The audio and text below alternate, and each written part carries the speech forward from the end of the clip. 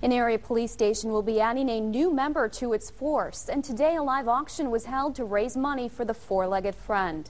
The Grand Chute Police Department is looking to get a patrol narcotic police dog. The canine would be cross-trained to search for humans, clothing, and drugs. Officials say the canine would help police and the community by providing a safer environment.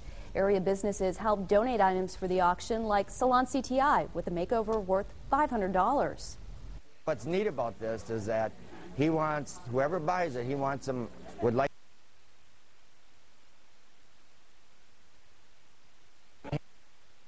counts. Locke is talking about Joseph from Salon CTI and his Monday morning makeovers on Good Day, Wisconsin.